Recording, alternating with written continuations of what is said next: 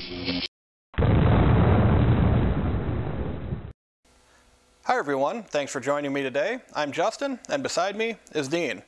Today we're talking the Playing with Fusion Sen 36005, the 4 meter capable CAN-based time of flight sensor. Now before we get too far, let me take a minute to introduce you to Dean.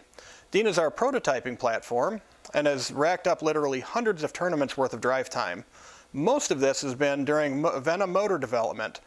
Dean has a six Venom, six wheel drive West Coast style drivetrain.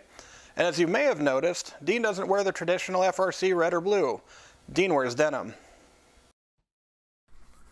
The SEN 36005 integrates a time of flight IC, microcontroller, and power supply into a single easy to use package. This includes an injection molded case, stub harness, and integrated lenses to keep the sensing IC clean. The sensor gives you millimeter resolution and fast sensing down to 24 milliseconds. It has short, medium, and long ranging modes that balance resolution and ra ranging distance trade-offs, with short range mode having the fastest available sample rates. Measurements are also given as absolute values from the front of the sensor with minimal offset. That means that what's reported by the sensor is a real-world value.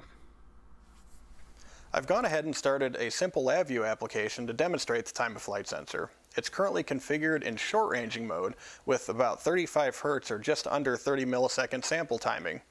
As with any reflection-based sensor, the more reflective the surface you're trying to detect, the better.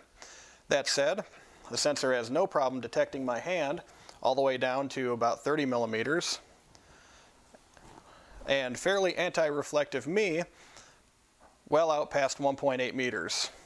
As with most single point measurement devices, this sensor reads out the closest object detected in its field of view.